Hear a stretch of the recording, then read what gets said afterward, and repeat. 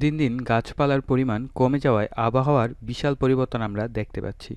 তাপমাত্রার পরিমাণ অসহ্য রকম বেড়ে যাওয়া, বৃষ্টির পরিমাণ কমে যাওয়া, যার ফলে আমরা নিজেরাও জানতে পারছি না আমরা যে ঘরে বসবাস করছি, সেটি মানুষের জন্য উপযোগী কিনা। ঠিক তেমনি একটি ডিভাইস তৈরির ভিডিও নিয়ে আমি ইস্তিয়াক খান জুমন হাজির হয়ে গেলাম। যার সাহায্যে খুব সহজে আমরা রুম টেম্পারেচার এবং হিউমিডিটির পরিমাণ জানতে পারব। এই ভিডিওটি স্পন্সর করেছেন জেএলসি পিসিবি ডট কম, যেখানে আপনারা আপনাদের ডিজাইন করা পিসিবির প্রোটোটাইপ মাত্র দুই ডলারে অর্ডার করতে পারবেন। জেএলসি পিসিবির পিসিবি কোয়ালিটি খুবই প্রফেশনাল এবং high quality. Easy EDA dot com থেকে অনলাইনে যে কোনো পিসিবি ডিজাইন করার পর গার্বার ফাইল তৈরি করুন। তৈরিকৃত গার্বার ফাইলটি জেএলসি পিসিবিতে গিয়ে লগ করে আপলোড করুন এবং ঠিকঠাক মতো সমস্ত ইনফরমেশন এবং শিপিং অ্যাড্রেস দিয়ে অর্ডার করুন।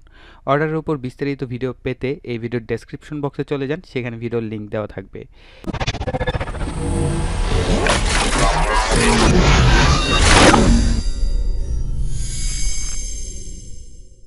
এই ডিভাইসটি তৈরি করার জন্য আমাদের প্রয়োজন হবে একটি পিসিবি বোর্ডের বোর্ডটির ডিজাইন ফাইলটি ভিডিওর ডেসক্রিপশন বক্সে পেয়ে যাবেন। তাছাড়াও দরকার হবে ডিএসটি ওয়ান ওয়ান সেন্সর একটি গ্রিন কানেক্টর চারটি, রিলে চারটি, বিসি ফাইভ ফোর সেভেন মানে ট্রানজিস্টর চারটি, রেজিস্টর ওয়ান কিলো ওহম মানের চারটি, এল আটাত্তর শূন্য পাঁচ আইসি একটি, পাওয়ার জ্যাক অ্যান্ড পোর্ট একটি করে, female to male header one set, node MCU ESP twelve E একটি, diode one N four zero zero seven মানের চারটি।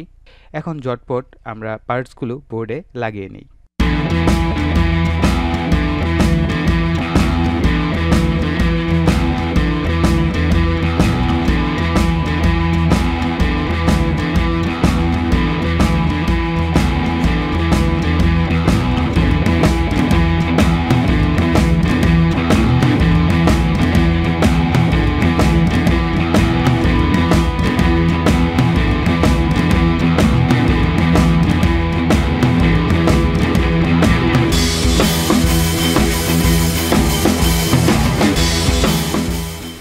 এখন আমরা ডিএসটি ওয়ান ওয়ান সেন্সরটির যে মাঝের পিন রয়েছে, অর্থাৎ আউটপুট এই আউটপুটকে নোড এমসিউর ডি থ্রি পিনের সাথে আমি একটি গ্লু গানের সাহায্যে সংযুক্ত করে দিচ্ছি। এখন আমরা আরডিনো সফটওয়্যারটি ওপেন করব এবং এই আরডিনো সফটওয়্যারটি যাদের কাছে নেই, তারা আরডিনো ডট সিসি এই ওয়েবসাইট থেকে এই সফটওয়্যারটি সম্পূর্ণ ফ্রিতে ডাউনলোড করে নিতে পারবেন। ওকে আমি সফটওয়্যারটিকে ওপেন করে নিচ্ছি। ওকে, সফটওয়্যারটি ওপেন হওয়ার পর আমাদের বেশ কিছু ইনফরমেশনের দরকার হবে। ইনফরমেশনগুলো হচ্ছে, এখানে দেখতে পাচ্ছেন নিড নামে একটি ট্যাক্স ডকুমেন্ট এবং আরও কিছু যে ফোল্ডার বা ডকুমেন্টস রয়েছে, এই সব কিছু আমি একটি প্রজেক্ট ফোল্ডার নামে একটি ফোল্ডারে করে জিপ করে এই ভিডিওর ডেসক্রিপশন বক্সে দিয়ে দেবো। সেখান থেকে আপনারা ডাউনলোড করে নেবেন। সো সবার প্রথমে আমাদের দরকার হবে একটি এডিশনাল বোর্ড ম্যানেজারের লিঙ্ক এই লিঙ্কটি আমাদের কপি করে পেস্ট করতে হবে। কোথায় করতে হবে সেগুলো বলছি। তার আরেকটু ব্যাপার আপনাদের বলে দিচ্ছি, যেমন অথ টোকেন সো এখানে দেখতে পাচ্ছেন একটি অথ টোকেন রয়েছে, তারপরে অ্যাসেস আইডি এবং পাসওয়ার্ড রয়েছে।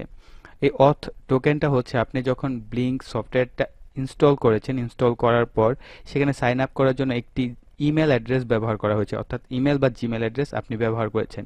সেই ইমেল বা জিমেল অ্যাড্রেসে এই অট টোকেনটা পাঠিয়ে দেবে তারা। এবং এসএস আইডি হচ্ছে আপনার স্মার্টফোনে আপনি যখন পার্সোনাল হটস্পটে যাবেন, সেখানে গেলে দেখতে পাবেন যে আপনার এসএস আইডি নামে একটি নাম রয়েছে। এসএস আইডি না অ্যাকচুয়ালি আপনার যে ইউজার নেম থাকবে, সেই ইউজার নেম এবং একটি পাসওয়ার্ড থাকবে।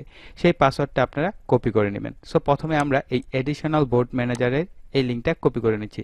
তবে আরেকটা জিনিস আপনাদের সাথে একটু শেয়ার করে নিচ্ছি, সেটা হচ্ছে যদি আপনারা এই যে প্রসেসটা আমি একটু খুব তাড়াতাড়ি করছি এবং জটপট করছি যেন ভিডিওটা খুব বেশি লং না হয়ে যায়, তার জন্য সো যারা আমার এই সিকোয়েন্সগুলো বুঝতে পারছেন না ক্লিয়ারলি বুঝতে একটু অসুবিধা হচ্ছে।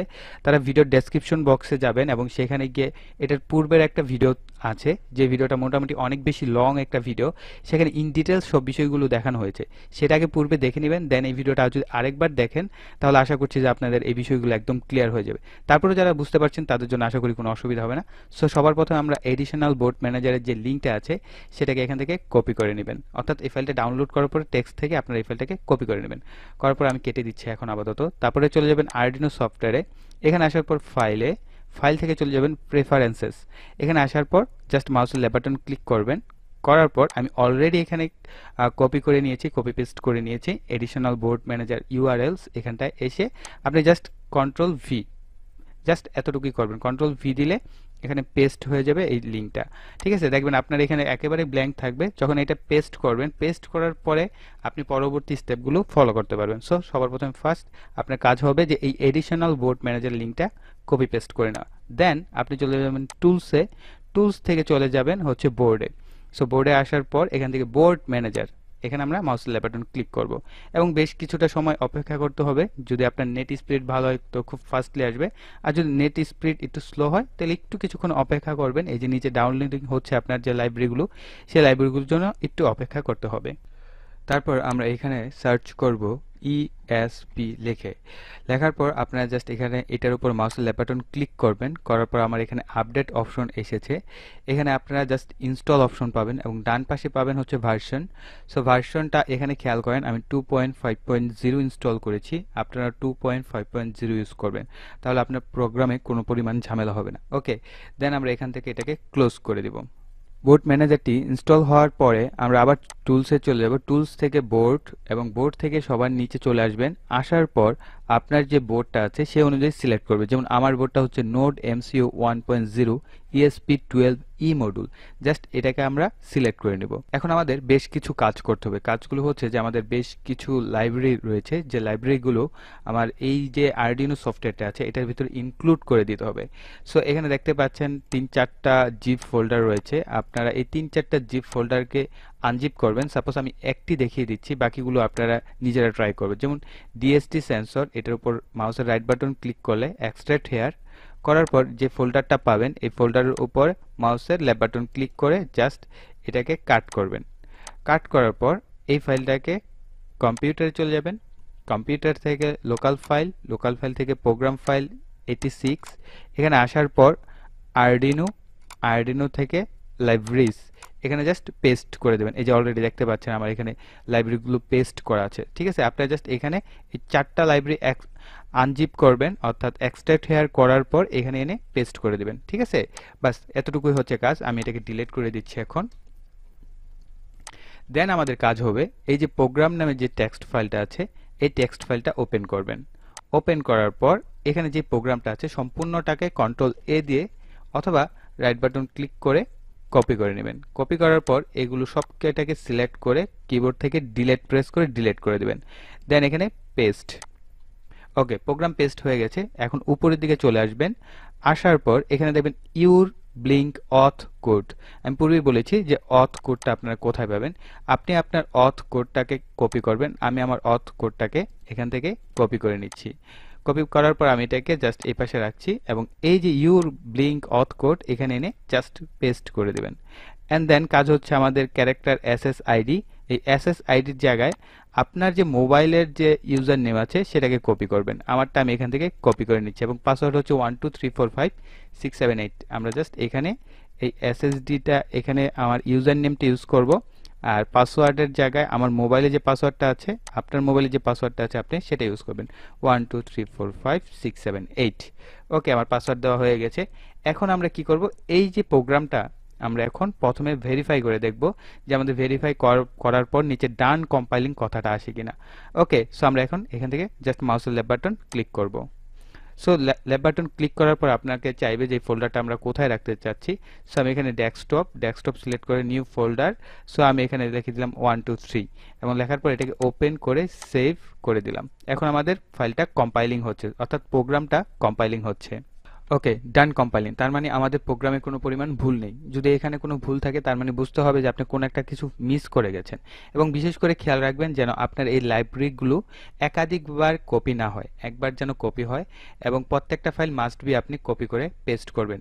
যদি তাহলেই হয়, তাহলে আপনার প্রোগ্রামিংয়ে কোনো সমস্যা হবে না ডান কম্পাইলিং দেন আপনার যে মডিউলটা আছে, সেই মডিউলটাকে আপনি ইউএসবি কেবলের মাধ্যমে আপনার কম্পিউটারে কানেক্ট করবেন এবং দেন এখান থেকে আপলোডে ক্লিক করবেন।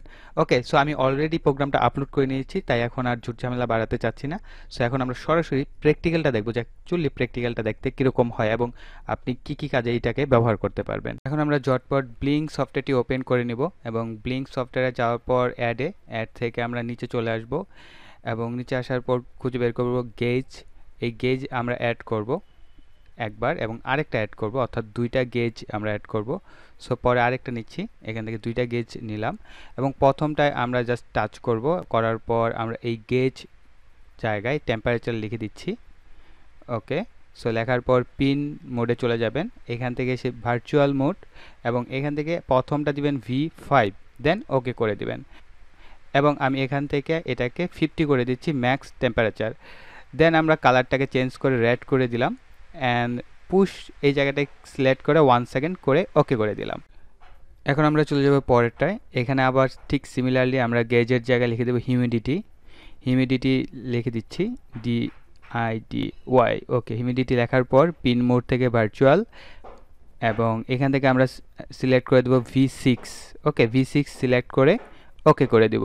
দেন আমরা এখান থেকে কালারটা ইয়েলো করে দিচ্ছি।